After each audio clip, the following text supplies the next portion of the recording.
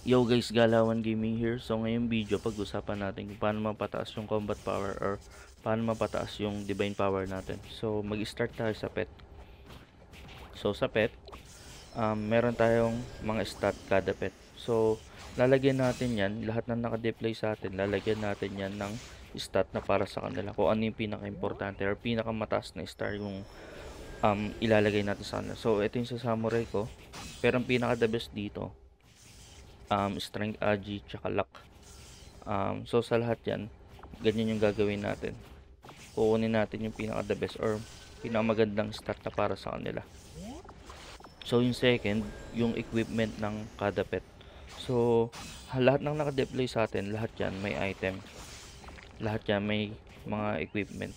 So dito ang kukuha tayo ng combo set. So ito yung purpose na itong samurai ko um, kumuha ako ng damage boost, yung patak-matak percentage.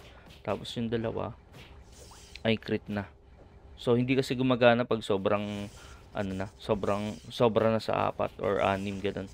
So mas maganda kung kumuha kayo ng iba para makadagdag din sa stats. Kunyari ito, crit, pwedeng attack speed ganun. So pero crit ang kinuha ko kasi importante yung crit ng stats na ito.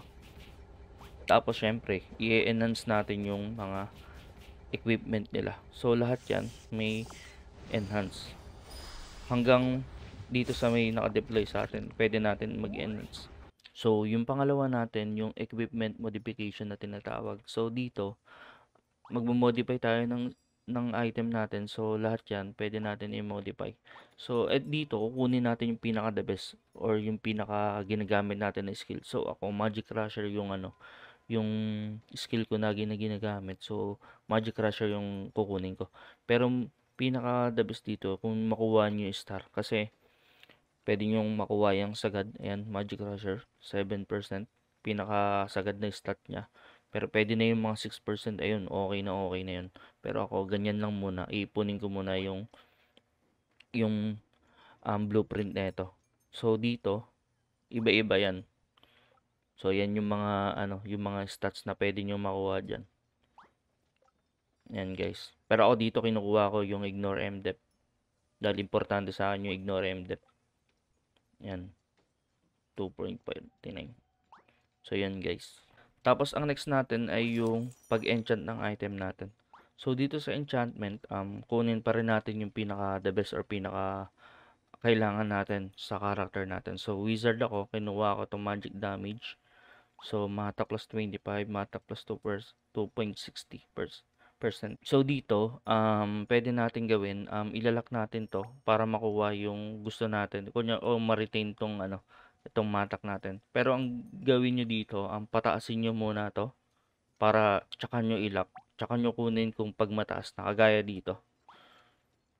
And, kunyari ito, mababa pa masyado. Ang ginagawa ko dyan, um, pinapataas ko muna yung sub pinapataas ko muna yung nandito. Ito, kagaya niyan. Iniipon ko yan hanggang mag-level 15 bago ko ilalak to.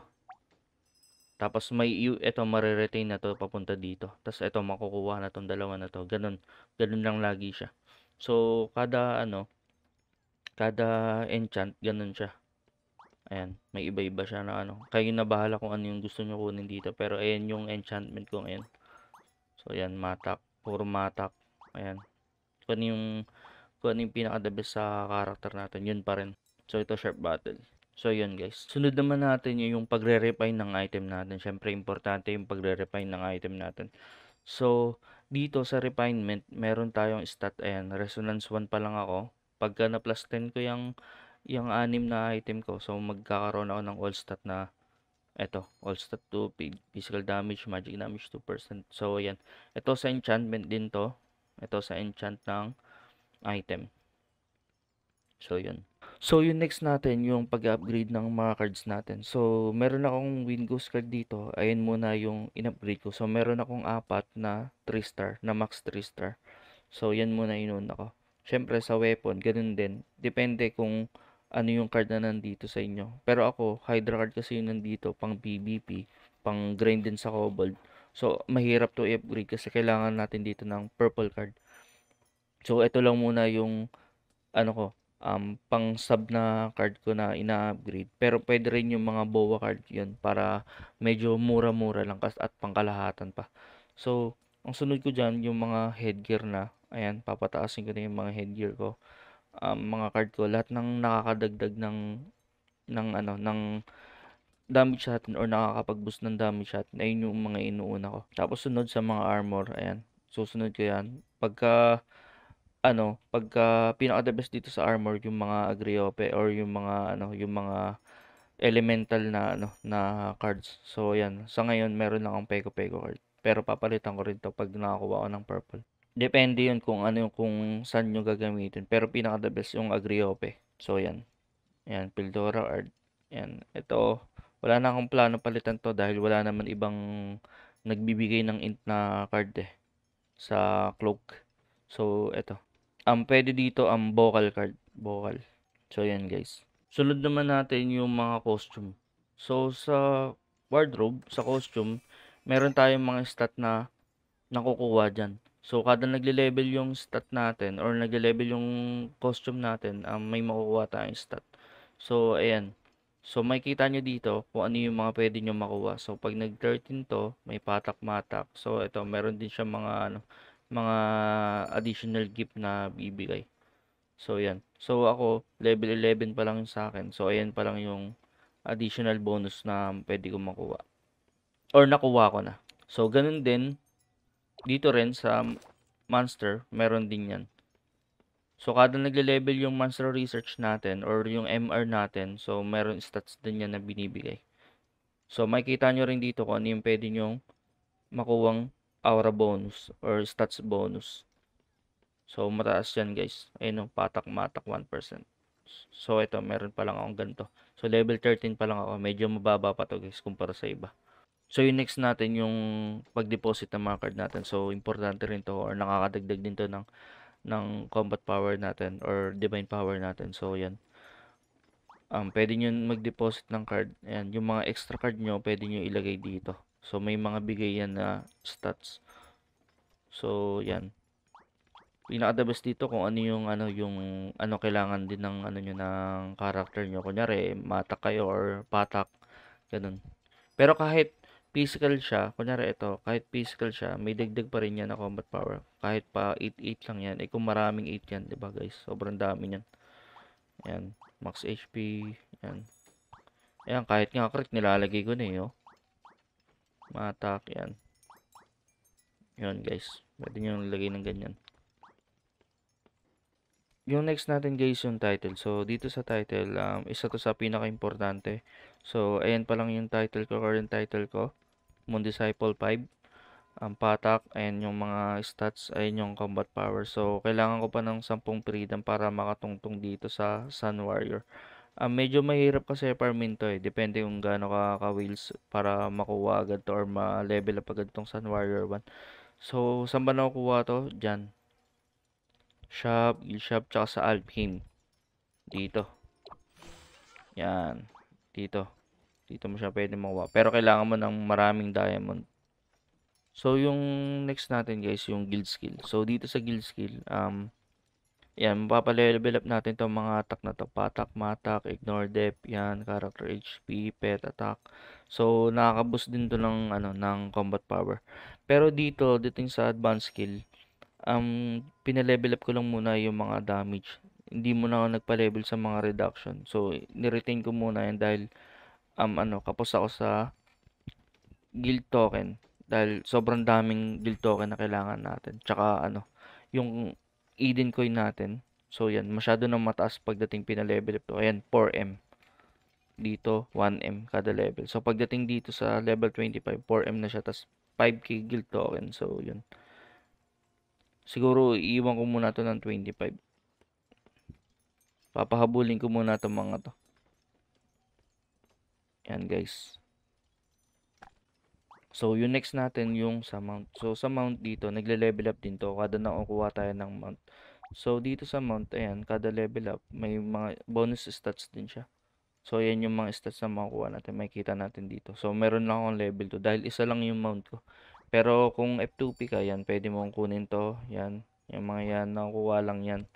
Pero ito hindi ko sigurado kung ano, um, catnip yung pambili dito. Ayan. Pero ito sigurado ako, um, kaya lang to ipunin. Ayan, union shop lang to. Ito rin ata. Hindi ko, hindi ko sigurado guys. Tapos yan, yung stats na itong mount, meron din yan. So, 1%. So, itong mga libre, wala ata. Yan, wala nga siya. Pampalevel up lang siya. So, dito, ito, um, mataas din yung bigay ng mount nito kada nag kada nagle-level. Mataas din yung bigay ng combat power niya kada nagle-level. So, ayan, papa-level up lang natin to. Tapos sabay, pwede siyang i-evolve. So, nag-evolve din yung mount natin.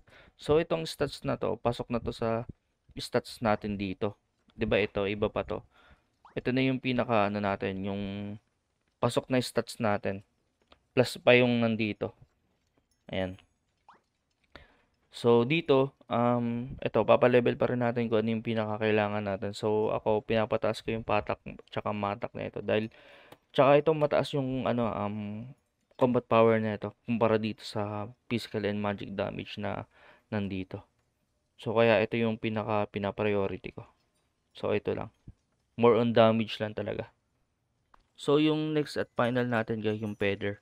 So, dito sa feather, so, apat na orange, isang violet. So, violet ko, in, yung kinuha ko dahil nga wizard ako. So, etong setup na to, um, F2P friendly siya.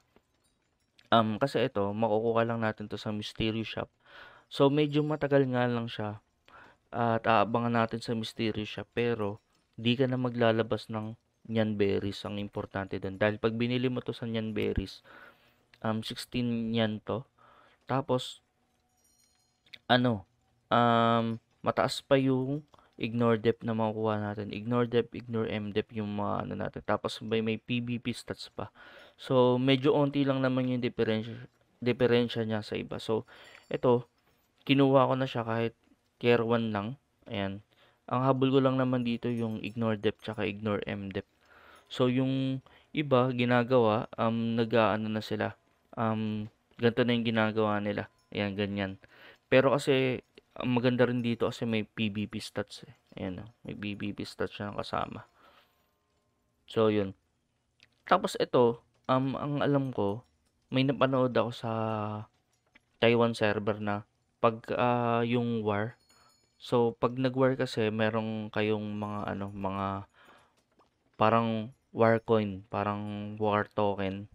So, sa may shop doon na pwedeng ibili yung war token. So, meron ganito dun sa shop na yun. Di ko alam kung ilalabas din dito yun sa global server. Pero sana ilabas nila yun para para ma-upgrade din natin tong mga attack time tier na to. So, yun lang guys. Kung gusto nyo pa manood ng content ng Ragnarok Origin, um, um, check nyo sa YouTube channel ko. Um, thank you so much sa panonood at huwag kalimutan mag-subscribe at like sa video natin.